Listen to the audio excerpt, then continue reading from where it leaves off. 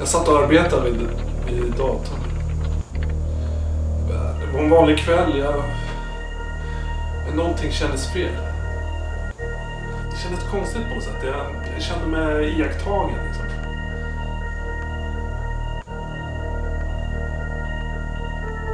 Det var som om datorn fick ett eget liv. Den tog liksom över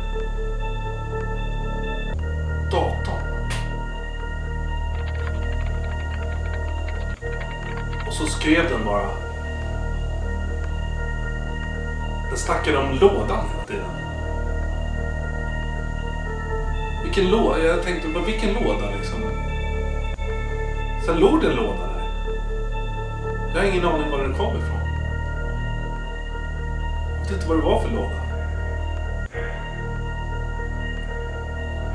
Eh, och jag trodde, jag trodde jag, jag trodde jag såg i synen så jag, jag gick och tvättade av mig. Och sen började det kännas som om datorn tog över mig.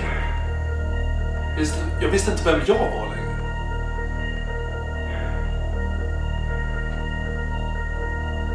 Jag förstod inte.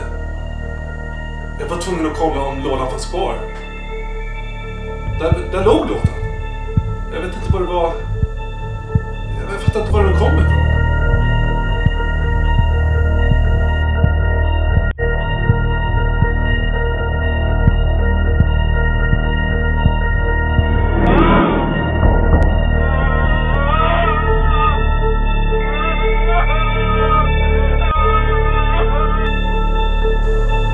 Säg vad det var i lådan.